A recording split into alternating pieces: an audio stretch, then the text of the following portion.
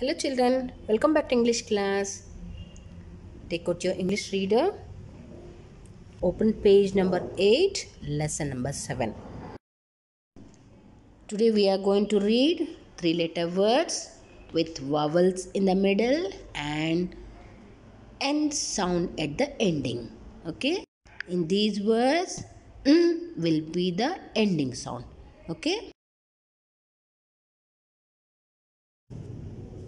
See, a, n, an, a, n, n,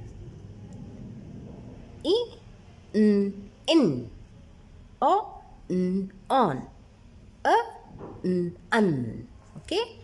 So, first three letter words with vowel a in the middle, an, n, an. If you add F for the an, you'll get fan. Add B for the an, ban. Can, dan, fan, man, nan, pan, ran, tan, van. See why capital letter? Because fan is a name. Okay and here see. Even the D capital D Dan is a name. Nan also is a name. Okay?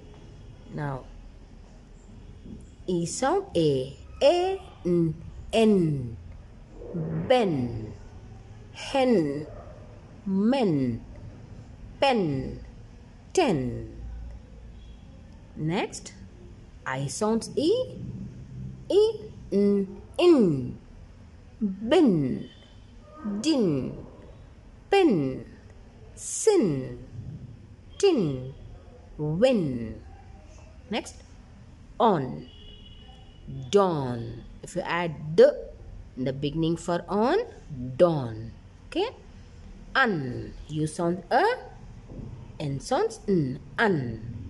If you add r for un, run add B for an bun, done, fun, gun, none, pun, sun. Okay, children?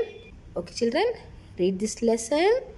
Write 15 words and send it to me. Bye.